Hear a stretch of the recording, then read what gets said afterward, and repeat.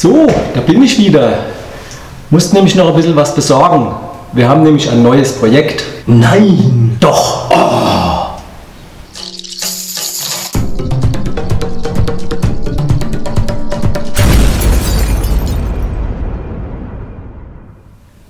Heute geht es mal wieder in die Werkstatt, denn wir wollen ein bisschen was basteln. Und zwar ein kleines Klettergerüst für Babys und Kleinkinder auch unter dem Namen Pickler-Dreieck bekannt und in etwa so ausschaut. Benannt ist das Ganze nach der Emmy Pickler, das ist diese Dame, eine Kinderärztin, die sich damals zu ihrer Zeit ähm, entwicklungsphysiologische Überlegungen zu Säuglingen und Kleinkindern gemacht hat und dabei festgestellt hat, dass Babys schon in der Lage sind, in frühem Alter sich hochzuziehen oder auch richtig klettern zu können. Und dabei entstand dann die Idee für so ein kleines Klettergerüst. Das Ding kann man kaufen, ist sehr teuer, deswegen machen wir die günstigere Variante und bauen uns eins selbst. Ja, wie schon gesagt, es gibt verschiedene Modelle, verschiedene Variationen. Wir haben uns dazu entschieden, eins zu bauen, das man zum einen ganz zusammenklappen kann, damit es gut zu verstauen ist. Und zum anderen wollen wir auch den Neigungswinkel, den Aufstellwinkel veränderbar machen, dass man verschiedene Neigungswinkel eben hat. Und das könnte dann also so aussehen, dass das die steilere Variante ist und so eben flacher steht. Ja, dann gehen wir in die Werkstatt und bauen. Noch zwei Worte zum Materialbedarf. Ein Buchenbrett, Buche-Rundholzstäbe, zwei Schrauben, zwei Scheiben, zwei Einschlagmuttern M8, sehr überschaubar. Ja, was haben wir, was brauchen wir? Wir nehmen dieses Brett für die seitlichen Wangen. Hier machen wir vier Stück draus. Da kommen alle 15 cm ein Loch für die Rundhölzer.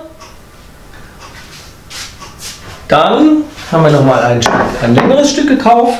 Da gibt es zwei Bretter draus für die untere, unteren zwei Leisten für die Verstellung, für die, dass wir die verschiedenen Neigungswinkel einstellen können.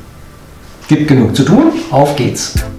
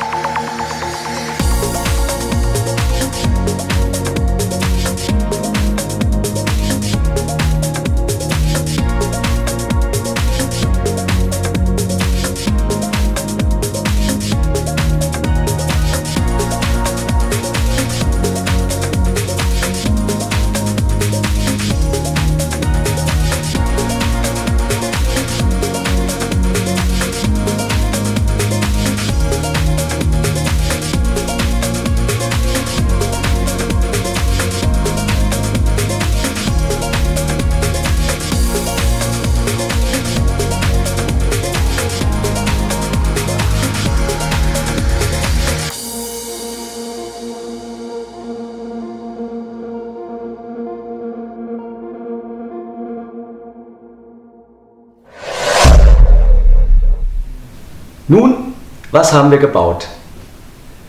Das sind quasi zwei Sprossenwände, zwei Sockelleisten und die Stange zur Verstellung des Neigungswinkels.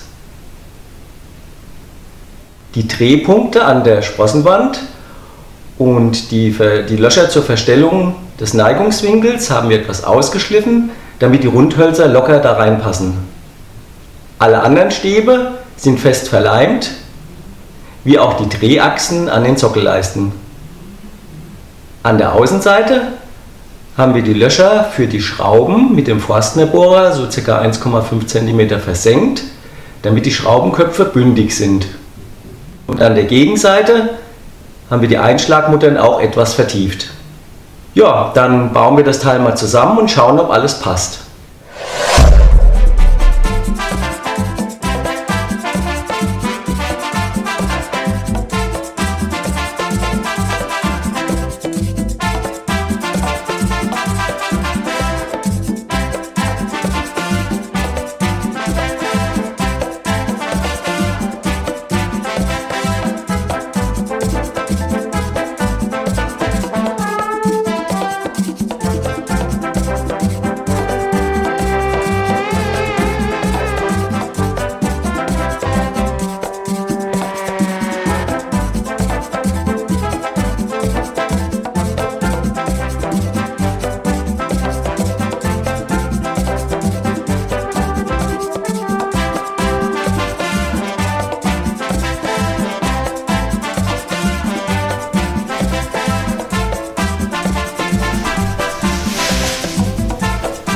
Ja, meines Erachtens funktioniert es genauso wie es soll.